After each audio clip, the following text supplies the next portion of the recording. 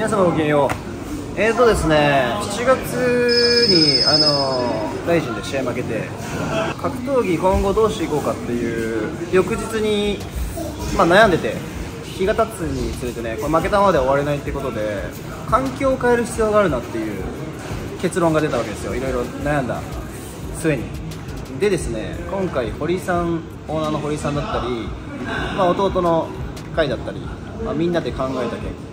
えージムの体制を、えー改革することが決まりました。まず後ろ。名前ですね。ジャパントップチーム。に変わります。こっちも。で床も。こんなね大層な名前にしましたけど、はい。まあ、その理由を話します。はい。はいお願いします。お願いします今回ですね、まあ、僕を負け僕の負けをきっかけに海外のメガジムのような環境を作ることを決めました。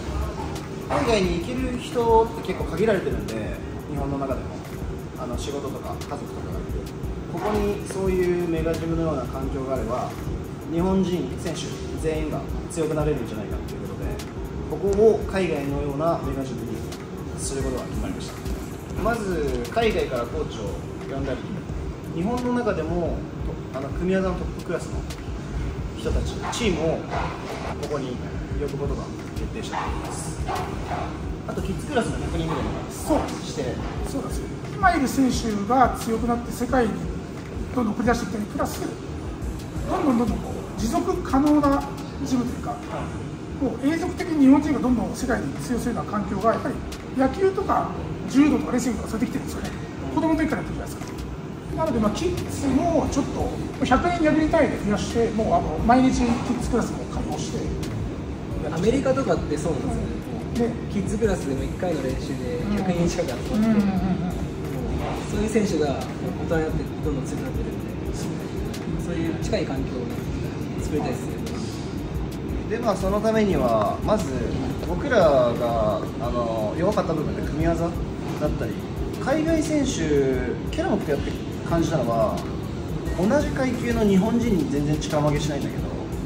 なんかそもそも練習相手であの世界レベルのフィジカルを持った選手が日本中探してもいないっていうことなんですよ。でそれを超えるには階級上の組み技の強い選手を呼ぶ必要があるなっていう考えに至りまして日本国内であの組み技最強クラスの2チームを、え呼ぶことが決まりました、まあ、協力いただけたということで。じゃあ発表しますすみませんありがとうございますお願いしますありがとうございますお願いします。えっと、ブレイブジムの宮田さんと、まあ、レスリング最強クラスということで、ジムレベルでみんな強いんで、あのジムと提携してくれるということで、ジムの選手、プロ選手を何人か送り込んで、一緒に練習をしてもらいます。で、えっと、中村健太郎さん、寝技日本最強ということで。やばいしねはい、やばいです。仲間も一緒に連れて、一緒に練習してくれるということです。慶太郎選手、多分朝倉兄弟が知ってるより僕もっとすげえアマゾン大好きっていうか、寝技で日本にその当時一つ強かった人で、村ペの試合やっててから見てる。元 UFC だし、あのー、サトシのお兄ちゃんにも勝ってますからね。慶太郎さん来てもらったら、多分 MMA のグランプリがね、もう間違いないです。柔術だったらうちもトライボスがあるんで、MMA の寝技って言ったら慶太郎選手に来てもらった方が圧倒的に違う。これも赤坂の柔術はなんかアメリカでやるんですあ、そうそう、だからトライボス赤坂って名前が残って、アメリカさんのにもっとビルがあって、そこで柔術クラスやって、こっちはジャパンドッグチームあ、そういうことですね。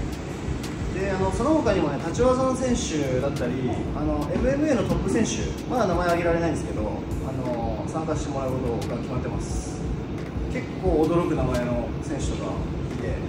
まあ、今後出せないかもしれないんですけどね、そこに関しては。なんかいろいろ立場があるんで。ああ確かに。でもあのかなりすごいチームがあの揃いました。あとあの僕が何回かアメリカで練習に行ってるんですけど、そこのあの UFC とかの選手を教えてるレスリングコーチだったり、大学のコーチも呼ぶことが決まってる。来月から。来月からヘッドコーチがエリーコーチで、で国内のレスリングコーチが宮田さんで、で、まあ、MMA のグランプリなんか書けてましたんで、あとレスリングの海外のコーチもしてるし、であと打撃はのコーチ、オルちゃんがいて、あと立ち技の選手たちも結構参戦してくれるんでああ、そうですね。そこはそこでキックボクシングのスパーリングしたりコーチが揃って練習仲間も、まあ、宮沢とか健太に連れてきてもらいながら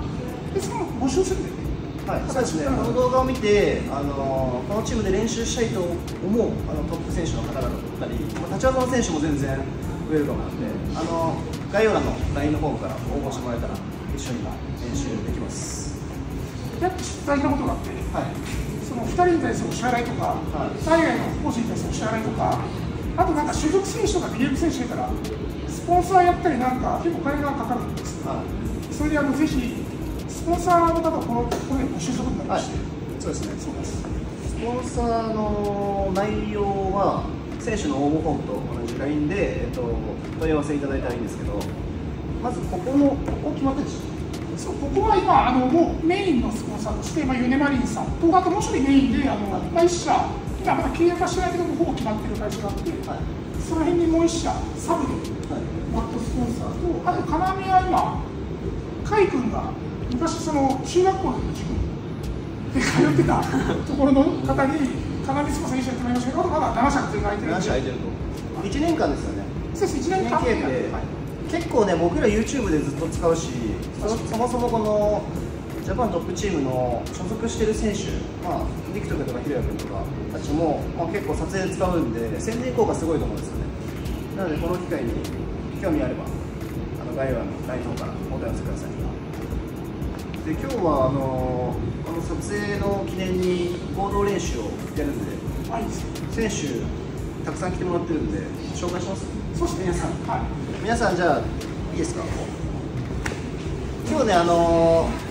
日程合わなくて来れなかった人結構いるんですけどち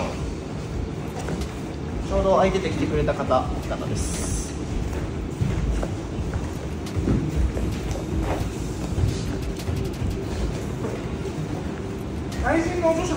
あれ？ライジンチャンピオンいるやんすげえ。この選手ってチャンピオンでしたっけ？ディープのチャンピオンです、まあ、あとはあとは普通ですね。いつも通り。いつも通り さびっくりしたんだけど。確かに確かにいや俺俺あの堀さんに言ったんですよ。メイン行けます あのなんかジャパントップチームって名乗ってこのメンツはどういうことでも何人か来るんだけど、めちゃめちゃ大物の選手がまあそれはね決まってる本当に決まってるんですよ。シャイだシャイ。だからお前格闘からさ、い。なんていうの？そのいろいろ言われるじゃない？俺俺と一緒に練習するだけで、うん。そういうのもいろいろ多分気にしてると思うんだけど。しがらみがね、そうそうそう。しがらみが本当に。うるさいから確かに。確かあいつらやばいじゃないですかアホなんであいつらいや使うんですよ生対話なんですかね。先に。名前を言ったら、もうそれに。みんな向かって苦労するから。あジャパントップチームって言って弱かったら恥ずかしいじゃん。まあそうですねめっちゃ頑張るわけ今のところ一人だけですよ、これ。名前。名前あるんで。翔平さんもあの、鈴木千尋が活躍するたびに、に君ありがとうということでね、結構あの伝わったんですかね。そう。あとなんかまあ、このジャパンチーム設立のなんか経緯とか僕のチャンネルでも話してるんで、それを見てください。チャンネルの宣伝しないです。ガイラってきますね。はい、ということでね、新体制で頑張っていきたいなと思いますので、あの皆さん応援の方お願いします。え合同練習はなんか流す流す。変わんなくないですか、いつも。のメンツ変わらなすぎて。結構重大発表がもう一つ忘れまして、なんとこのジム、タトゥー OK になりました。おお素晴らしい素晴らしい素晴らしいなので俺もあのタトゥー入れることにします。ジャパントップチーム。